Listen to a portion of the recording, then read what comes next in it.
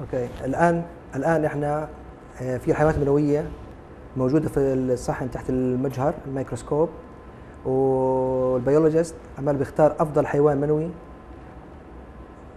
عشان يحقنوا بالبويضات. الآن حتكون بعملية تكبير الحيوانات المنويه تكبيرها عادة في الصورة الأولى كانت 400 مرة أما الآن بتكبرها 6600 مرة. من أجل انتقاء أفضل حيوان منوي نحقنه في البويضات. كل بويضة بنحقن فيها حيوان منوي واحد فقط. هاي الطريقة نستخدمها في الحالات في الفشل المتكرر في حالات أطفال الأنابيب اللي بكون في عندنا فيها ضعف شديد في عينة الزوج أو بكونوا مسويين محاول أكثر من محاولتين أو ثلاث محاولات أطفال أنابيب وباءت في الفشل. هاي الطريقة بتزيد فرصة نجاح الحيوانات من فرصة نجاح عملية الحقن المجهري وبتحسن من نوعية الأجنة الموجودة عشان بكون فيها أفضل حيوان منوي بنحقن فيه البويضة فبالتالي هذا يزيد فرص نجاح عملية أطفال الأنابيب. والآن هي الحيوانات المنوية بتتحرك ومن خلالها بتقدر تأخذ أفضل حيوان منوي. لما تكبر بتأخذ تفاصيل دقيقه جدا في آه، رأس الحيوان المنوي. عندنا هاي الصورة للحيوانات المنوية مكبرة ومبين فيها زي الفقاعات داخل الحيوانات المنوية. هلا هاي بنختار الحيوانات المنوية اللي بتكون أقل عدد من الفقاعات داخلها زائد حجم الفقاعات تكون أصغر شيء عشان ننتقي أفضل حيوان منوي للحقن المجهري للبويضات.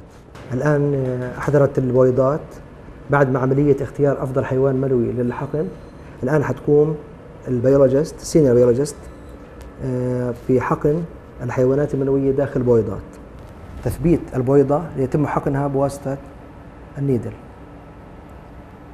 هاي. الآن يتم حقن الحيوان المنوي داخل البويضة. هي الآن الآن تم إسقاط الحيوان المنوي داخل البويضة وسحب النيدل للوراء في مختبر أطفال الأنابيب في مجموعة من الحاضنات.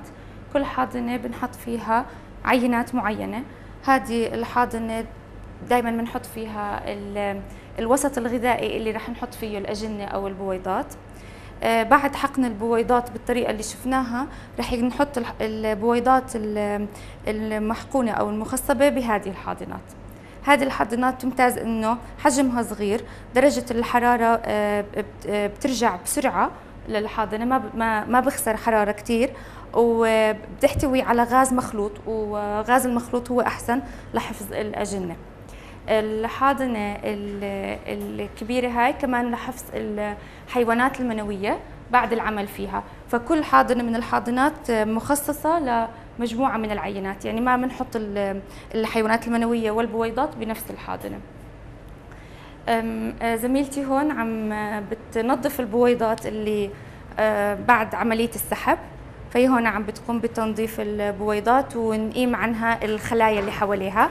هذا بيسهل عملية الحقن.